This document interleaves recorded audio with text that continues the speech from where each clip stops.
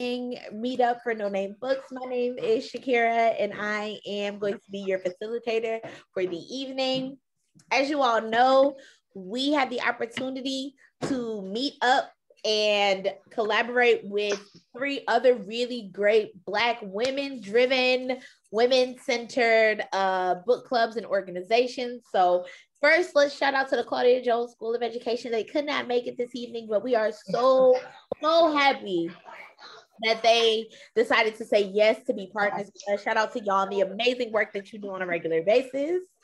Um, we are also super welcome and super excited to welcome Anna Malekata, who is the author of Three Mothers, a book that all hey. three of us have collect- collectively agreed that we could not put down. An amazing story about three amazing women who sometimes seem to get pushed to the background because of who their sons were. Um, and we also have Miss Glory from the Well Read Black Girl Book Club organization, just an amazing organization overall. And of course, we have our girl Jamie Swift, my also kin Philly Joy, you know I'm saying? Good to see you, Jamie, from Black Woman Radicals. Um, it's going to be a good conversation. We've been getting it warmed up for you all. So I think it's gonna be it's gonna be live. So, so happy.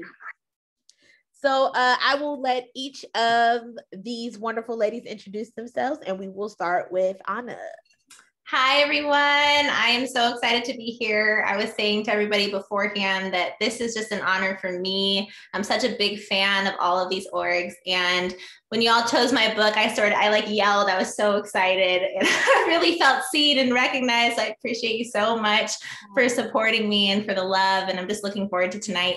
Um, as you said, my name is Anna Malaika Tubbs. I'm the author of The Three Mothers How the Mothers of Martin Luther King Jr., Malcolm X, and James Baldwin Shaped a nation. And indeed, they did. And if you haven't read the book yet, we'll talk all about how they did that tonight. And I am also a mother to a 17 month old ball of energy. He is wonderful and amazing. And I'm also pregnant. So I have a baby coming in August. Which I'm very excited about. And we just moved to Los Angeles. So that'll be my fun fact. We are in the middle of settling into our new house. And um, otherwise, you know, like life wasn't crazy enough. We're also in the middle of that transition. But again, thank you. And I'm excited, just excited to be here. Woo! um, next, we will have uh, Glory introduce herself. All right. Hi, everyone. My name is Glory Edim. I'm the founder of Well Read Black Girl which is a literary organization and festival that celebrates the work of Black women, girls, and non-binary folks. Um, we this year, 2021, is our five-year anniversary, so it's a really big deal for us. Thank you, thank you. Um, we have read almost over 100 books over the five years, and we've had so many incredible people be part of our community. And we're so happy to be part of this collective um, because we express, we I, I was to say express, but I want to say respect uh, everyone in this organization from Noname to uh, Radical Women uh, to Claudia Jones, everyone, Anna, like this is the collective group that we really admire and want to be hold hands with always. So this book was dear to me because of the three women here. Um, and also I'm a new mom. My son is turning one tomorrow. Um, and so I couldn't help but just think about his legacy and the things that I will pass down to him. And there were so many just beautiful gems of history and the meaning of lineage really like sits in the pages of this book. So thank you, Anna, for writing it. Um, and thank you, Noname, for like bringing this all together. This is dope and it's Women's History Month, so it's, it's perfect. All right, and thank you again for joining us. And last we have my my Join and Ken right there, Jamie. Let the people know. Yeah, thank you so much. Uh, my name is Jamie Swift. I use she, her pronouns. I'm the executive director and creator of Black Radicals, which is a Black feminist advocacy organization, and we're dedicated to uplifting Black women and gender expansive people's radical activism in Africa and the African diaspora. I'm super excited to be here with you, Anna, with Glory, with Noname Books. Like, thank you for all the collective work that you all do. And also, just like this book is a, like, you know, what Black Radicals tries to discuss, right? Like overcoming the erasure of Black women and gender expansive people from around the world, right? And I think that's so important because we cannot repeat white supremacist, capitalist, cis heteronormative, uh, revisionist histories, right? And so your book offers a fuller contextualization of the lives of uh, El Hajj Malik El Shabazz, Malcolm X, uh, Dr. Martin Luther King Jr., and James Baldwin. So thank you so much. Yay! And we also want to give a, an amazing shout out to the author of How We Get Free. I have the digital copy of How We Get Free. I don't have the physical copy, um, so you won't be able to see it on my screen. I have that pulled up over here as well. But we want to thank Keeanga Yamahtta Taylor for um, also providing us with a wonderful piece of text, right? For doing the work that was necessary to sit down with the elders, right? And ask these very hard questions and really get into what it means um, to be a Black woman and to have the, and how to how to define your identity politics, right? Because we say the words a lot, but we don't necessarily always know exactly what we mean when we say it. So thank you for the work, Keeanga. Thank you. Um, and we wish you could have been here. So let's get like right into the book, right? Um, I believe we have a set of questions. Um, Gloria, you want to go first? Yeah, I can. Um, I mean, we've all said how much this book has nurtured us. And I think I just want to start at the very beginning of your origin story. What led you to, to select these three women in particular? And what inspired you to just build this beautiful narrative around their lives? Oh, goodness. You know, it's it's it should be an easy answer, but I always have to try to make it more succinct because, as we all know, so many experiences go into this moment, you know, whenever you get your work out there and what really inspired it. So I'll take it all the way back to my mom. Um, she's always been somebody who really taught me that women and mothers matter, that our identity matters, that you know, we always have to think about the ways in which women are being mistreated. She would often say in all of the places where we grew up, because we moved around a lot because of her job as well as my father's job. And they taught at different universities abroad. And my mom advocated for women and children's rights abroad. And so she would say, everywhere we went, she would say, uh, the best if women are doing well in a community that community will do well. So that's how you can judge how a society is doing. Are they supporting women? Are they giving women the supports and protections that they need? Um, so this was always her general mentality on things. And so when i kind of grew up and formed my own opinions and kind of understood my own identity better i started to also have a deeper understanding of intersectionality and how womanhood altogether was not always the same and how we needed to think about the different ways in which we each walked through life. And i i really really developed that when i was an undergrad. And so i said i want to study this more went to get my master's in gender studies. And then i just knew that i wanted to be someone who contributed to correcting the erasure of our stories of black women's stories. And I loved Margot Lee Shetterly's Hidden Figures. Um, and if you haven't read the book, of course, the film you've probably heard of. Um, but the way in which she not only changed our understanding of American history, but our understanding of where we are as a nation today. And I left, you know, reading that book feeling very frustrated um, similar to how I hope many people feel when they read my book. You feel both inspired, but also frustrated and shocked that we didn't already know these stories because it wasn't a mistake, for instance, in Hidden Figures, that we weren't aware that Black women were behind the numbers in calculating the space launch. That's not like a oops, we forgot to tell you. That's this doesn't fit our vision as a nation of who the leaders are and who the heroes of the story are. And therefore, we're going to not only keep it from the light, but also hide it very intentionally. And so I said, I'm going to be somebody who continues to tell more stories of hidden figures. And that obviously left this really wide landscape. So many of our stories are forgotten, erased, not given the credit or the recognition that they deserve. So I thought, how many different layers of erasure can I address with one project? How many different things can I blow up in that way? And so, of course, the civil rights movement came to mind. It's such an important moment in history that we come back to over and over and over again and will continue to do so for years to come. When we're talking about policy when we're talking about so many different things we come back to the civil rights movement. But unfortunately many people can name way more male leaders than anybody else in the civil rights movement. It's so so male and very heteronormative. And so i thought I'm going to do something to address the civil rights movement, but in a unique way. Then I thought about roles in our society that are, again, overlooked, underappreciated, unrecognized. And because of the way in which my mom always spoke about mothers, motherhood came to my mind immediately. And I thought, gosh, has no one done this work yet? Has, has no one done this project before? So when I started to look into that and realized this might be the first that is of, of its kind, I was one, again, very shocked, upset about that, but consoled by the fact that I was going to tell that story. And again, there were lots of options. I thought, okay, how do I do this? How do I balance the fact that I'm not trying to only celebrate the men of the movement by any means, but I also know that this will be kind of a trick for people who think, oh, I'm going to get to know about the three men if that's their motivation. And then they'll leave re- with a reminder of who the real, um, who the real leaders of the story are and who we really need to be celebrating and uplifting. And so I said, okay, I'm going to do this on the mothers of three sons in the civil rights movement. Um, because I don't think that the mothers of other children are any more or less erased. I think mothers generally are not appreciated and not celebrated enough.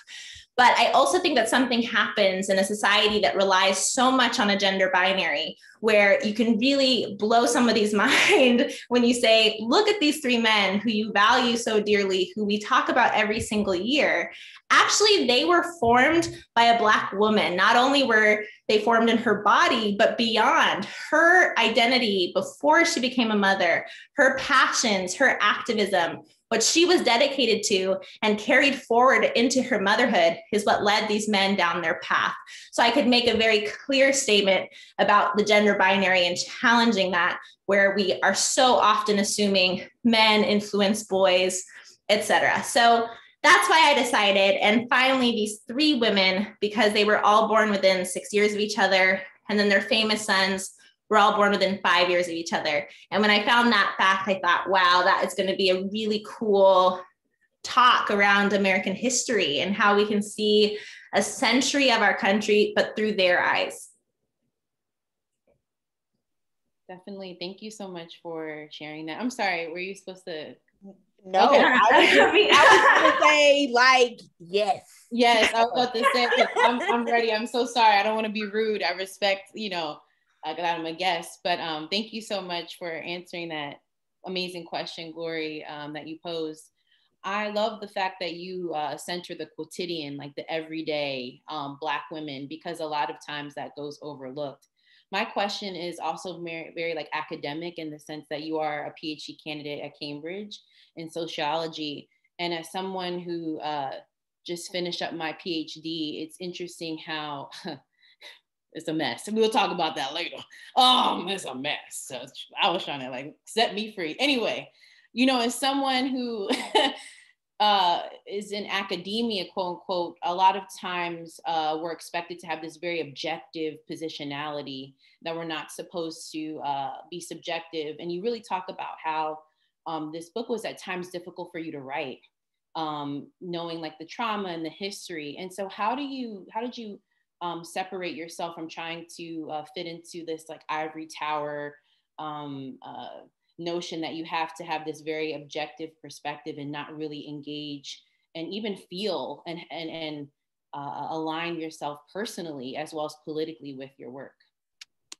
That's such a good question. And i always describe myself as an academic who like hates academia. I have always hated how exclusive it is, how it's so much of a performance, like all this academic jargon for no reason. And I, I say this even in talks that I give, you know, in academic settings. A lot of, I say the audiences, a lot of what you're saying, no one understands. And I don't see the point of not being understood, especially when I work on black feminist work. And i i base all of my work in black feminist theory. This was not meant for the academy. And i find it to be a crime that it's been stolen in that way and then just used to study us um, and not allow us to really apply it to our survival which is what it's intended for. And so I'm really political in that way. I've always gotten into arguments with my advisors about this, but usually I will say by the end they're on my side and I do the parts that I need to do to pass and you know do well in my program. So I'm not going to lie that also has mattered to me. I want to get the degrees because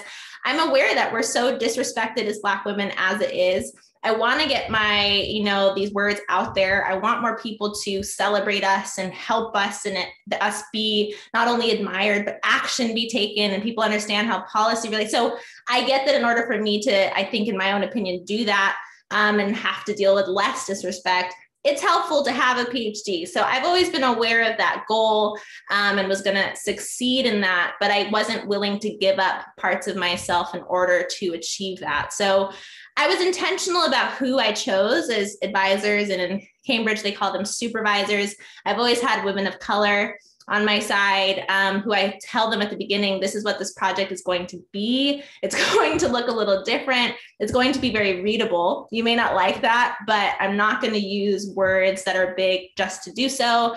I'm also not going to quote Marx or Weber or these old white men who have nothing to do with Black women's stories.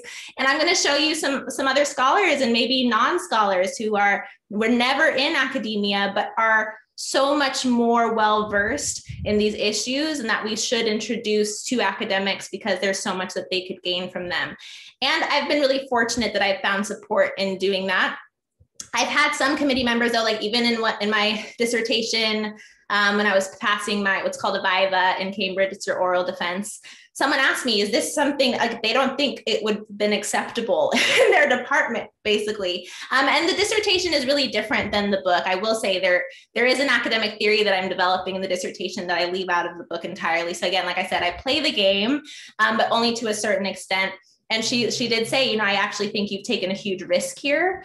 And i said i'm doing this on purpose because hopefully when other students come after me because again cambridge is hella white. It's not you know i mean my undergrad was also very white but cambridge is a whole other world of lack of recognition around racial injustice or just generally race um, and so I knew I was taking that risk. And she said, you know, I, I, congratulate you for that because this will change the department. The fact that you're, you're you've passed your viva with a dissertation that is really not very academic in that sense will help us to accept other students who want to do it in this way. So that's the balance that I've always tried to reach.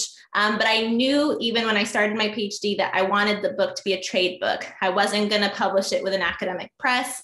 This was for the masses. This is for audience members. This is inclusive. It's readable. It's approachable.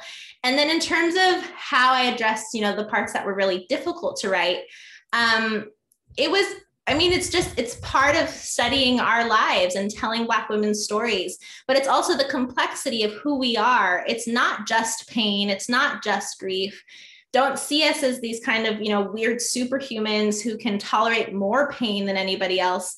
It was a moment to remind myself that that is what I was writing about, the complexity and the difficulty, but also the ways in which we found joy and created life and claimed our humanity, no matter how many times others have tried to take that from us.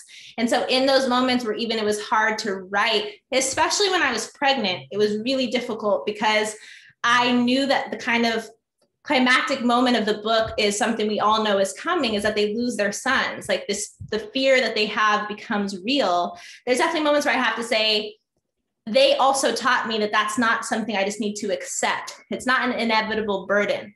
They carried lessons with, to us saying this is hopeful. Our lives are worth fighting for. Our lives are worth celebrating. And love and fun and light are also a huge part of our journey and so I really held on to those moments while acknowledging the real fear, fears and difficulties of being a Black mother.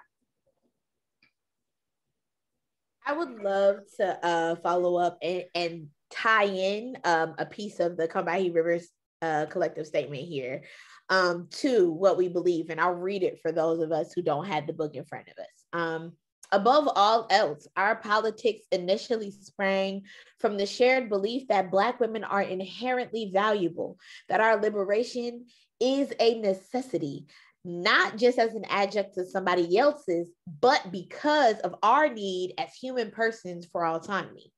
Important. This may seem so obvious as to sound simplistic, but it is apparent that no other ostentatiously progressive movement has ever considered our specific oppression as priority or worked seriously for the ending of that oppression. Merely naming the pejorative stereotypes attributed to Black women, for example, mammy, matriarch, sapphire, whore, bulldagger. If you don't know what a bulldagger is, people ask your old granny. If she is from the South, she has used the word. Unfortunately, I guarantee you. Let alone cataloging the cruel, often murderous treatment we receive indicates how little value has been placed upon our lives during four centuries of bondage in the Western Hemisphere. We realize that only people who care enough about us to work consistently for our liberation are us. I think everything that you just said, Anna, is in that, is literally that paragraph, right? The only which is why you you state you did the pushback for making sure that the language was accessible right? For why you decided to focus on these three women right? I am not an academic. I tried and failed. I would i tell people i'm a college dropout proudly all of the time. Um and part of the reason i realized i did not fit is because me being a animated uh boisterous, loud black woman did not fit. And I refused at one point in my life to be put in a box just so other people could be comfortable. And I think what these women are saying here and what these women in this book did was say, you can't put us there as badly as you want to. We refuse it at every juncture, and we're going to pass the resistance on to our offspring, right? I think that's such a powerful thing. Um, I think that's such a powerful thing to do and such a powerful thing that we can continue doing, right? Like even the fact that the, all of us gathered to pick these very radical books for the sake of black women because women history month often does get put in the white lens you know um, to lift up the names of these very radical women um, and their work. Not only these three, again, these three mothers, but the collective work of the Combahee River Collective and two women authors. Hello. Um, you know, it's just in, it's just important to continue um, that work in this tradition because again, we won't get to get free until we free ourselves. Jamie, I can't hear you. oh, oh, sorry. I need you to look at the chat. I need you to look at the chat. And Jamie wrote it. You don't need a degree to be a scholar. You are yeah. brilliant, and you are an academic. You, so, like, yes. cut that out. You, you are good. no, but I but I often think that like women who look like me, who act like me, who come from cities, majority black cities like me, we get told that we have to perform in a certain way. And when you don't perform in a certain way, you are automatically less than, right? Because I ain't got a degree, because I didn't do this, because I didn't do that. And then I have to work three, four, five times harder um, because of that fact but we often forget that a lot of the academic a lot of the reasons that we have the words for things is because of the everyday woman, right? We overlook that experience because they don't have that piece of paper. And that's not to discredit anybody who's done the work of getting a PhD, because I have a friend in a program right now and it is very hard. He's, I, I love him to death, but he is going through it. And I don't discredit any of the work that's ever been done by anybody on that level. But I do think sometimes we put the the the extra onus on on the fact that you got to go do this thing you know? Um and so I, I do i'm sorry can i just say one thing and i'll let gloria i know you probably have a question but what you're saying and what anna was also uh, speaking about i think about in the book how louise little would um, when her children would come home and they were like what she was like what did you learn today? And she was like oh no this white person said this to you. I'm like we're going to reteach you. Like what the like this is not right i'm going to undo this like white revisionist history i'm going to te- like teach you about yourself i'm going to instill pride and that is like what everyday black mothers parents you know do i mean i remember as a kid um, I grew up in a predominantly white area, and my grandmom had these. Uh, ebony, she still has them. I have them now, but the ebony encyclopedias. I don't know if you remember them, but I have them. And she, like, my mom and my grandma would make me read them. And so that's how I had a better understanding. Like, I didn't, my people didn't start from enslavement. like, I, you know what I mean? We have a vast history. And so your point speaks to uh, what the three mothers, you know, did and what Anna was discussing in the book. Jamie, my my granny had those two. Not my granny. I think it was one of my aunts that had them, and they used to come, used to tear the order form out the back of the jet or the Ebony magazine and order them. um, I also just recently got the the big black book from um by uh Toni Morrison, that whole collective of history, never had it until I was an adult and could go get it. And it's one of those things that I tell every every person, young or old, that they have to have in their library because it is a credible source to do that that kind of you know searching and information that you don't always have to go to to the white people's encyclopedia to to get the information um, and that there are black archivers out there who have done the work who will gladly share it with you too so definitely yes to all of those things. Yeah. Um, I think my, my next question, like we have touched on so many different points, but Anna, you said the word survival when you were answering that question, and you just said the word archive. And I'm thinking about everything that's happening now in this current political moment. Like I, I I can't bring myself to watch the trial right now, but it definitely has been on my heart, and I've been thinking so much about what is happening right right now, and how do you see your book intersecting with the current political landscape and also influencing organizing? Because I definitely felt this urge of like so many of the chapters felt like a call to action. Like I was thinking, like, what do I do next with this information, and how do I prevent other mothers um, and just our people from being further erased in history and at this current moment.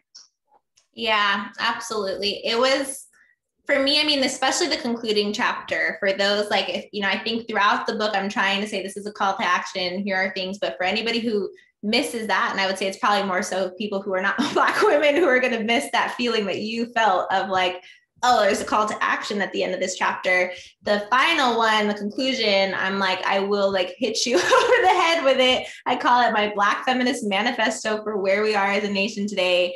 Don't just admire these three women. Don't just sit here and say, look how strong they were, look how resilient these Black women were. And that's, we hear that over and over and over again. Um, and it's actually one of the reasons that throughout the book, I also mention contemporaries, their contemporaries who were killed or something happened to them and they quote unquote didn't survive. It wasn't because they didn't have a fight, it wasn't because they weren't resilient, it's because these attacks against us were life or death. It, there's, you know, there wasn't other choices for us in that way. Um, so instead of this continuous congratulations for wow, you made it through this really traumatic thing that this nation did to you. Um, now let's think about why there are so many fears that are similar that I feel as a Black mother that Alberta Berdis and Louise felt for themselves, for their children. Why is that still present in the United States today and beyond? I mean, it's a global, you know, anti-racist, anti-sexist treatment um, but I think specifically in the United States, where this obvious relationship, especially with motherhood and us being the only ones who were legally deemed the givers of non life, the givers of property, that in law, our children, as soon as they were born, were not ours, but were white people's property. Um, I think about all the many things that still need to change. And I think there's an opportunity when you tell a story through history and through the eyes of three women where people get to know them personally and you maybe fall in love with them and you're really like connected to their story to now think about placing them at the center of policy and what are we trying to change? And i think of course it's different the action that i'm trying to inspire depending on who is holding that book and who is picking it up. For black women i'm not trying to say we need to do any more work. I'm saying i want us to feel seen celebrated recognized in this book and all of our complexities and all of our nuances and all the many ways where I'm trying to fight how our our lives are reduced. And so for me, it's not necessarily a call to action to Black women. I think we're doing more and beyond what we need to do. But for everybody else, all the different ways in which people are continuously trying to victimize us, whether we're able to conquer that or not, it needs to stop, whether it's domestic violence, whether that's killing our Black trans sisters. Well, whether that's thinking of mass incarceration, the fact that Black women are being forced to give so much of our money to a system that incarcerates our loved ones, whether that's, you know, ending a cash bail system, Um, there's so much more that I even wanted to add, you know, this release of, of people in the middle of the night. This is another thing that has been terribly dangerous, especially for Black women, um, that further says you we don't care about you. You finally like are, you've gained your freedom. You're we're finally letting you go, and we're leaving you to go wander the streets in the middle of the night.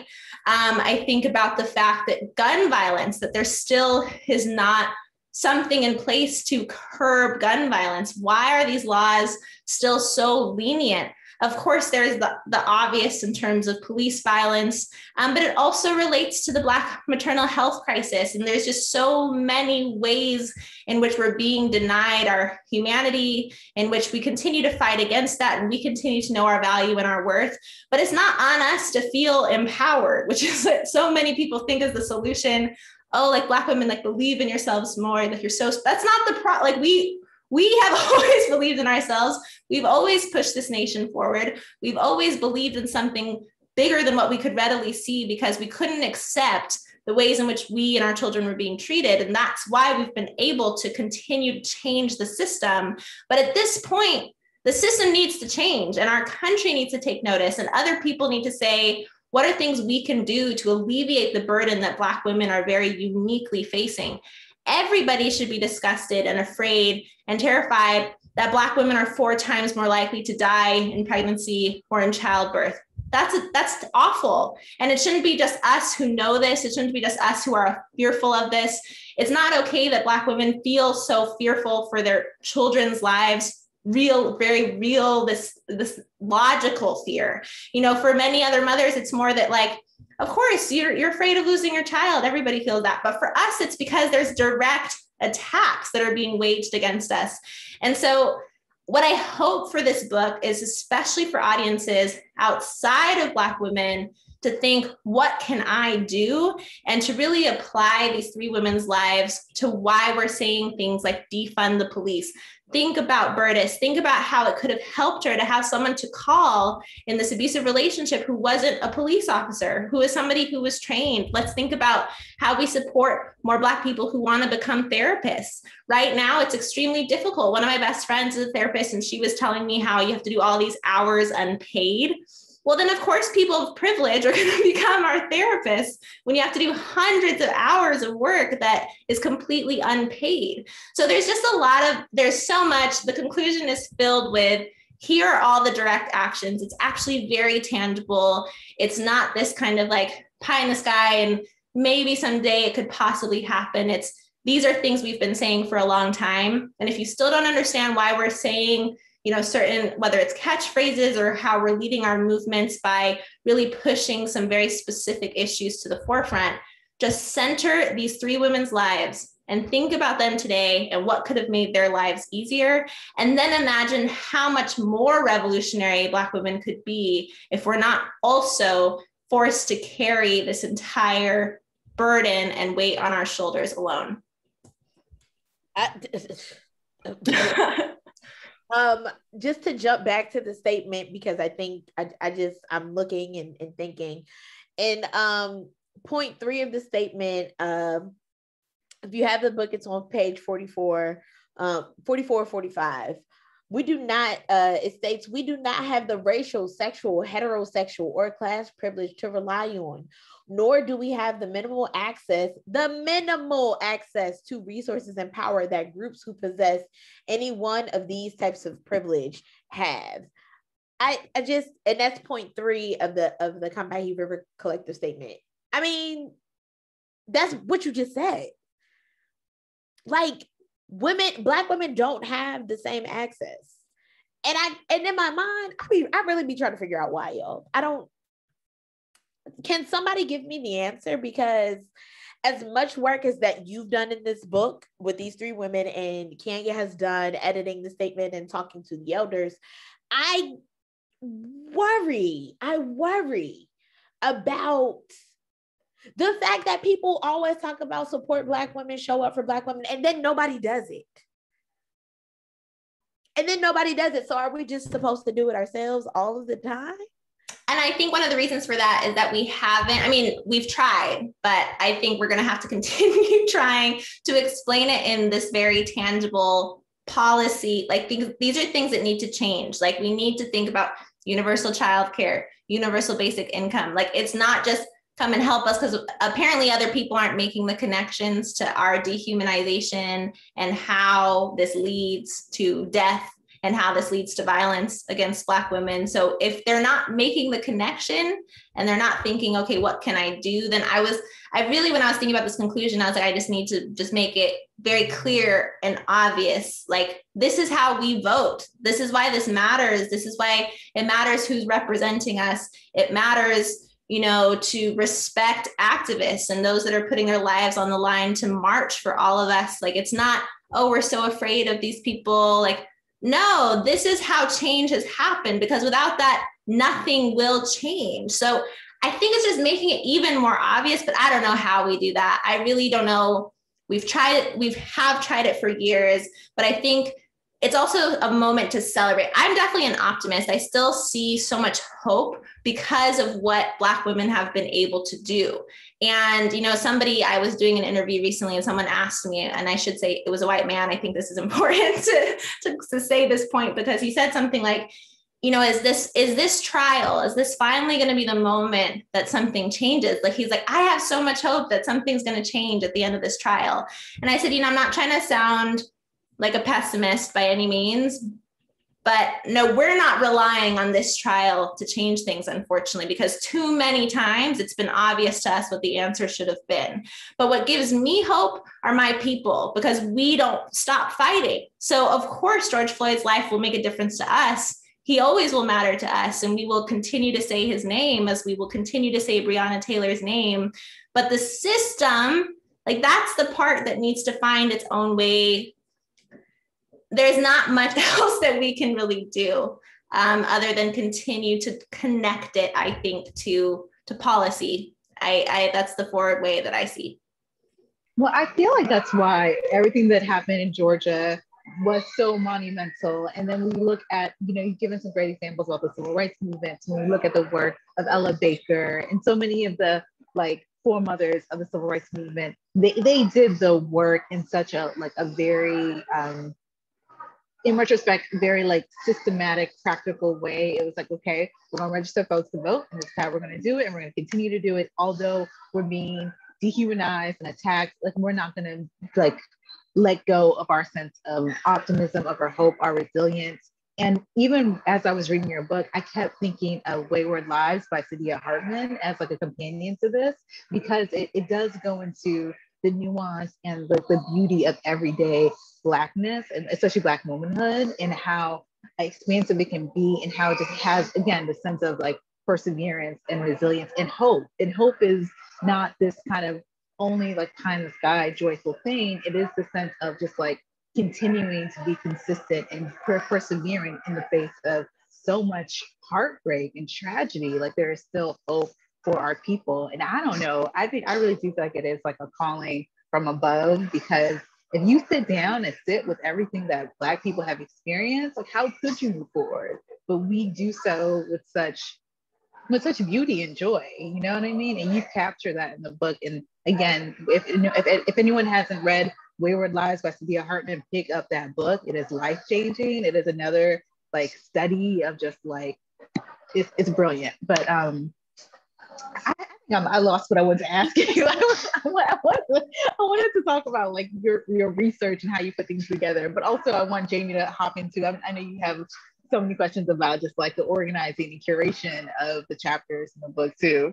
Yeah, I, I think I, I want to kind of tie in to what Anna has done to like the contemporary and also from a transnational perspective as well, because years ago, I was able um, to interview Lucia McBath, who is Jordan Davis's mother. And that interview, and I, I used to abide by that very objective, like, I got to keep myself together. I can't cry. But that was like one of my first interviews. I like cry, like we both like she was crying and I started crying. I could not. I was like, I can't do this, right? And you uncover like you know these amazing historical Black women who are these mothers of these giants, whether we revere in the Black radical tradition. But I also think about um, someone like Emmett Till's mother, um, Mamie uh, Till Mobley. And I also think of the current mothers of the movement, um, like Lucia McBath, like Samaria Rice, like like like all these women um, who I think about Breonna Taylor's mother, George, like George, you mentioned it in the beginning of the book, George Floyd crying out for his mother, you know, and I want to put this in a transnational context because this call to action, I hope somebody picks up like and you put a you make a you're like a, the prototype for this right and i hope, hope someone builds up on that to ask who was maurice bishop's mother who was thomas sankara's mother right and also too like there are several uh, Black feminist anthropologists like Dr. Christen A. Smith, who not only talk about um, anti-Black violence in Brazil, but she looks to mothers in Brazil who've lost children um, um, in, uh, in, you know, with police violence, right? Anti-Black uh, state violence. And one that comes in particular is a group called the Mothers of Acari, who uh, their, their sons were, were unfortunately murdered um, by state forces and no one wanted to um, you know investigate but it was the mothers that were constantly at the forefront trying to get information about their children and when one of them did they too were uh, felled or assassinated right and because they were trying to find these answers and i think that we really do have to take your book and look at it not just from a us uh, context but also like a diasporic context because this is happening uh, globally. And so I hope someone like ask these critical questions. Um, uh, who are these mothers of these so-called giants and why aren't they considered giants as well? So I, I really appreciate you doing this. Yeah, I love that point. I think it really reminds me of the pressure of how politicizing Black motherhood is. And whether we want it to be or not, there is this recognition of I might be aware myself as a Black person of how I'm treated, but that layer of when you care, and it's not only biological motherhood, it's when we are caring for our communities, when we're caring for these for our loved ones, for our children. There's something so political about it. And Jennifer Nash is a scholar who actually says, you know, it's it's I mean, this is I'm paraphrasing again. I always make it more inclusive, but that it sucks that we have to always be political as Black mothers. But it's like a fight that can't end because these are our most precious beings and we can't stop fighting for them no matter if we wanted to take you know i mean there's definitely importance of talking about resting and you know like i often say we're part of something larger. It's not all on my individual shoulders. Those are the things that allow me to say i also deserve joy. I also deserve to relax. I also deserve to rest. But in the kind of larger scheme of life it's this fight that black mothers globally have had to fight. And it really is not fair that we're we're fighting that on our own.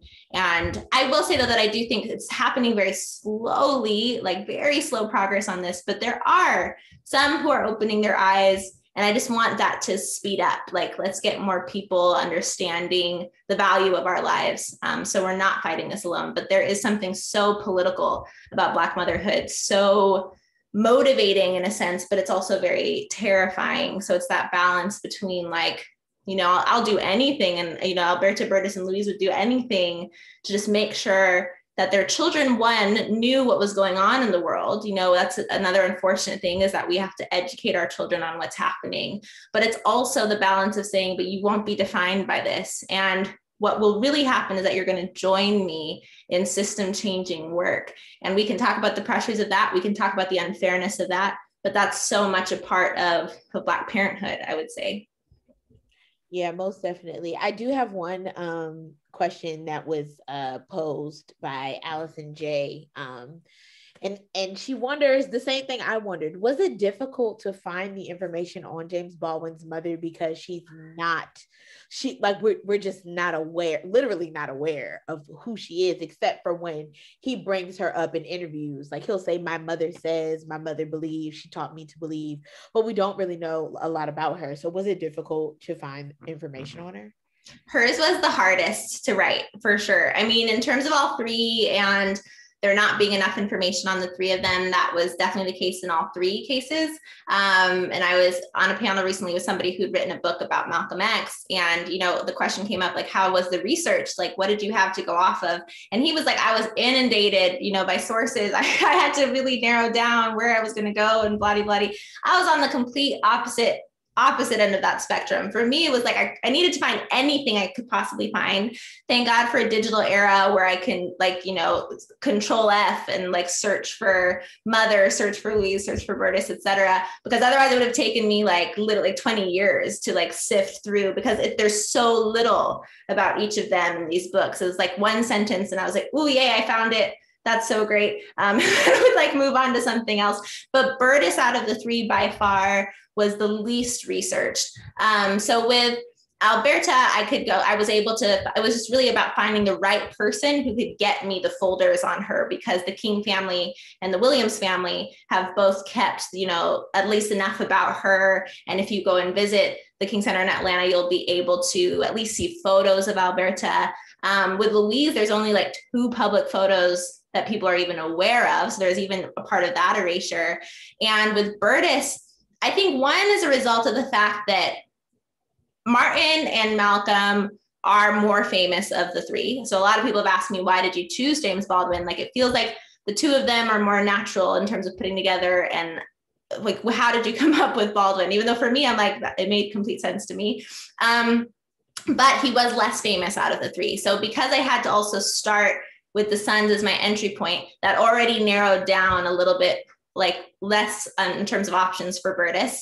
Um, and then on top of it, I think because there's a lot of different reasons, but you know, she was born in a really tiny town. So even from the beginning, this city generally, or this, I would say, yeah, town is not well researched to begin with. So I also had to really rely on if local historians or people who had just lived there for a long time could tell me history. Because if you search Deal Island, there's not that much that comes up for Deal Island.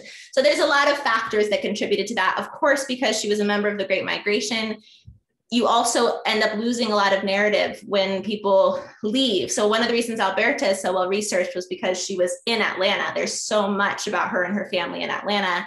And of course, we know Atlanta is proud of their history. They keep it very, you know, relevant. They keep it well documented. Um, if somebody moves away from that, it's a little harder to find.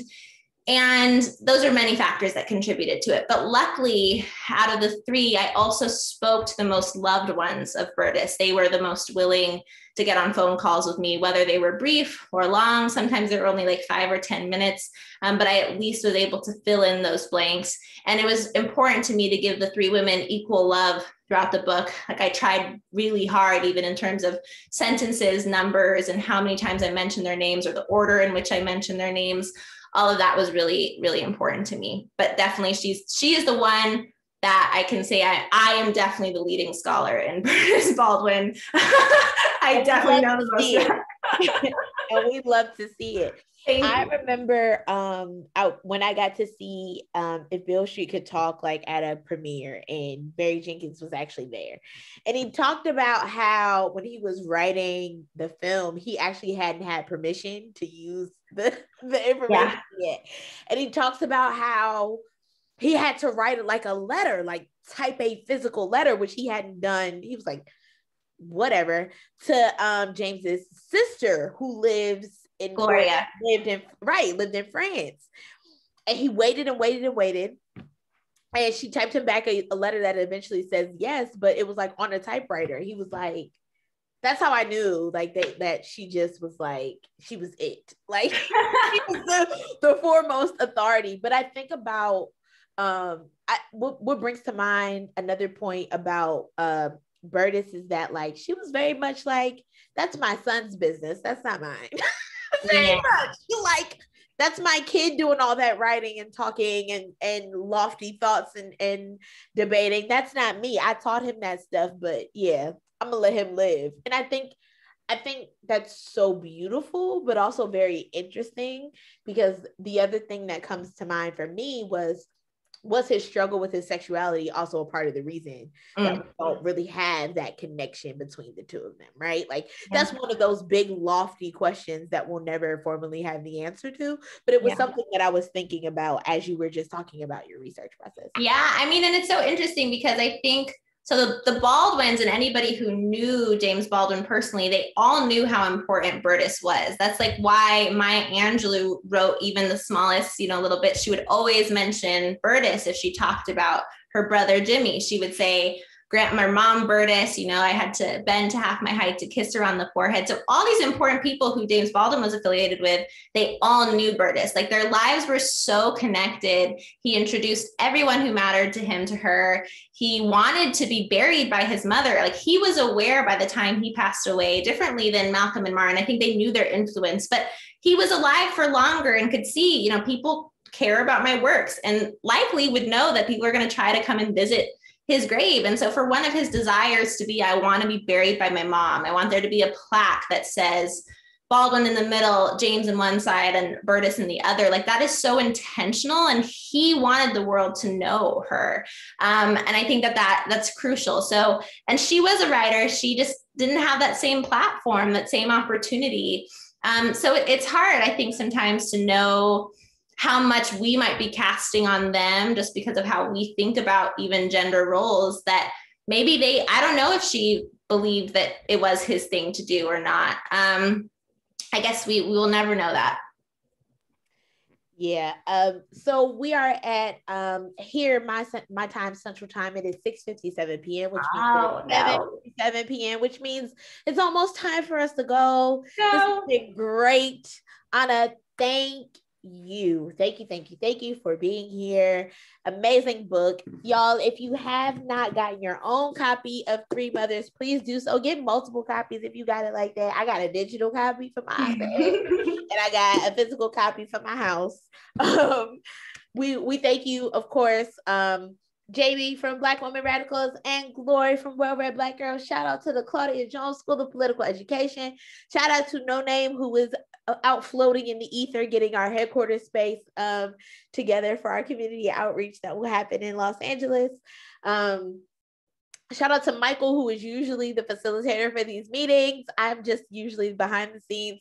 Mike decided to give me the opportunity to step up tonight. He was like, I'm a man. I'm gonna be quiet. So thank you to Michael for that. Um, I you were really- amazing, by the way. You. Let's just give it up for you. Thank, thank you so you. much. Thank you, thank you, thank you. Um, I really would be nothing without the community that I built physically in Philadelphia, um, at Noname Books and digitally with all of you. So thank you again. We are each other's gardens. Okay. Um, uh, ladies, tell us what's next, what's going on. Anna, we will let you go first. Uh, next in life, like what's happening in life. Okay, I was like, I was like, I know there's more to the event, right? There's still like, no, like what do we, what do we need to, what do we need to be aware of? What do we need to do? How do we support you? All of those good things. Oh, well, right now for sure, please buy the book. Buy, buy, buy the book. Um, obviously it's been really, it's been a great journey and people are buying the book, but like I would love to make it on some more bestseller lists so that people know these stories. That's like how we keep books alive. So let's keep that momentum up and um, buy it for friends and family and whoever enemies, whoever you want to buy it for. Um, and yeah, there'll be more projects later. So I'm just grateful for kind of being a part of this family tonight. I feel really seriously so honored. I've done a lot of events on this book tour, but I hope it's okay to say this. This one meant the most to me. so thank you for having me. And yeah, connect with me also on social media. I love hearing feedback. So thank you, thank you, thank you. Thank you for saying that. That just made my day. That just made the rest of my weekend. Um, Miss Glory, what you got going on, boo? Okay, so um, we're preparing for the Well Read Black Girl Festival in October. It's going to be October 26th. Um, and it's our five year anniversary. So it's going to be a really big deal. So we're in the process of getting authors and everything together. And we'd love you to come. We'll be in touch. um, and we're looking for summer interns right now. So if you want to be part of the digital team for Read Black Girl, please visit our Instagram page. There's a link in the bio where you can apply to be part of our team. We need social media interns and a graphic design intern. So please check us out. We read a book every month. Our April book is going to be called Baby with uh, Morgan by Morgan Jerkins. Um, yeah, hit us up on Instagram, social media, all that fun stuff. Thank you. Yes, and Morgan is fam. We we read Morgan last year. Morgan is fam. Shout out to Morgan. Um, my good sis Jamie, what's good? Let us know what's going on. Oh my goodness, I like hate being put on the spot. My cheeks are like, okay, turning red. Um, okay, so Uh, Black Men Radicals, we have a fundraiser to uh, phys- uh, open a physical location for the School for Black Feminist Politics in Washington, D.C. So that's the future goal. So if you could please support that fundraiser, that would be great. Next week, we're co sponsoring an event, another amazing book, Mouths of Rain. Um, uh, anthology of Black lesbian thought by Briona Simone Jones. And we're happy to be one of the co sponsors for that event. So check that out. And yeah, just thank you for supporting Black Radicals. That's all I'll say. Yes, and of course, we at Noname Books have a long list of things that you need to be doing. All right, we got homework for y'all this month. For April, we are reading Cane by Jean Toomer, which is a Harlem Renaissance classic. You can find it on Spotify for free, the audiobook. I just found that out today from y'all telling us on Twitter. So shout out to y'all for being the plug. Um, it was picked by the incomparable, the one of the greatest comedians to ever do it, Mr. Paul E. Mooney. Okay. It would make us and Mr. Mooney very happy if you took the opportunity to read that. We are also reading Charles Cobb Jr.'s that nonviolent stuff will get you killed. Because we're that kind of book club, okay? We believe in the right to protect ourselves over here, all right? We are also, please don't forget, encourage the young person in your life to also read our youth, our young adult put pick for the month. We are reading Everybody Looking by Candice Iloh, who is an amazing writer. It is written in verse. It's the most beautiful coming of age story I have ever read in my entire life. I think it's, I would honestly say it's going to be next for um like what's that other book? Skin I'm in or color the skin I'm in. Remember that book that was about the little black girl who had dark skin? Yeah, it's up there with that one and Color Me Dark. If you know what I'm talking about, if you was a kid nerd like me, you know them two books by heart, okay? Um also y'all, this space is coming together. Merch is coming. Jamie, yes, please drop the fundraising link so I can put it in all of the things. Um, Thank you for that reminder, Glory. Uh, y'all, the Paul Robeson House is celebrating Paul Robeson's birthday. If you are in Philly, you know the Paul Robeson House is where we met. If you uh, have the opportunity, if as soon as they are open and you are vaccinated, don't be playing, okay? Open and vaccinated. Uh, please go visit. It is the house that Paul Robeson spent the last 10 years of his life. It's a really wonderful space. Um, they are family over there. It's great. Please go check it out. They're celebrating his birthday and they also have a fundraiser going on. So you know I'm saying let's spread the love around. Let's keep the work going. Again, ladies, thank you for being here this evening. This has been great. I am Shakira with Noname Books, and we say good night. Good night, everyone. Good night.